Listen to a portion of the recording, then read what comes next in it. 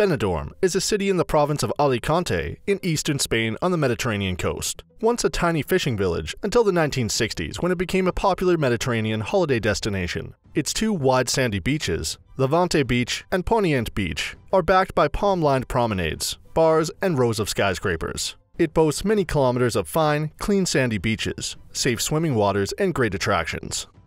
Before we get into the top 10 things to do in Benidorm, we've included links in the description to various discount codes and links to resources of things to do, so make sure you check those out. At number 10 is Mundomar Benidorm. Mundomar is an animal-themed park inhabited by aquatic animals such as dolphins, penguins, and sea lions, as well as tropical birds. There are large enclosures and each species lives within an area closely resembling its natural habitat. With many regular shows and demonstrations to see, the dolphin show is definitely the highlight of the day, dazzling the audience with a synchronized display. There are also special experiences, such as meetings with dolphins face to face or swimming with sea lions. These are very popular, so it's advisable to book in advance. Number 9 is the Benidorm Old Town.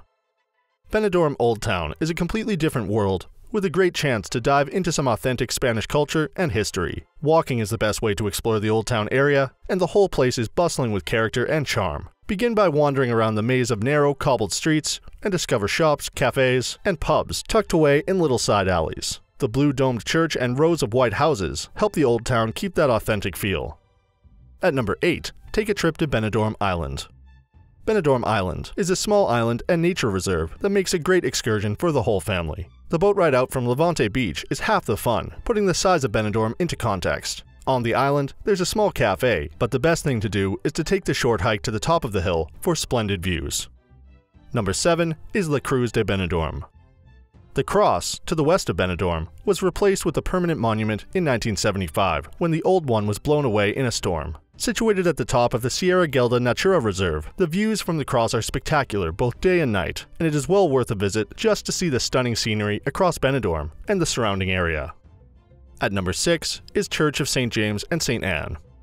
The Church of St. James is dedicated to the patron saint of the town. It's set at the very top of the old town on a hill called Canfali. It is a neoclassical building built in the 18th century with a typical blue Mediterranean dome. Its lovely interior has a Latin cross layout with a central nave and small side chapels. Number 5 is Aqualandia Benidorm.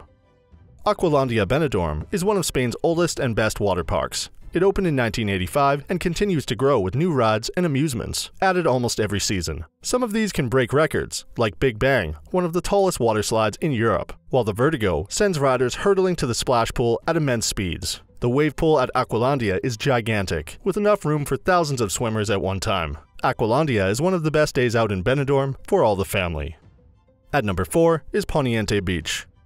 Poniente Beach is generally quieter and more family-oriented than the bustling Levante Beach. The golden sandy beach is cleaned every day, and there is safe bathing with lifeguards on watch. This beach has received a lot of investments in the last few years, with a network of boardwalks making it accessible to wheelchair users. Number 3 is the Sierra Helada Natural Park. The Sierra Helada Nature Reserve, which is stretched across the mountains and cliffs around Benidorm, has several hikes that are suitable for all abilities. There are well signposted hiking trails, including a stunning cliff walk, and another that leads to the Benidorm Cross at the top of the mountain for some tremendous views. At number 2 is the Balcony of the Mediterranean. The Balcony of the Mediterranean, also known as the Benidorm Overlook, divides two beaches and offers a great view over the sea. In the past, it was part of the fortress built to defend people from pirate raids. Afterwards, the castle was abandoned, and today, visitors may only see the remains of the walls on the rocks, and the viewing point which is also known as the Balcony of the Mediterranean. And at number 1 is Terra Mítica.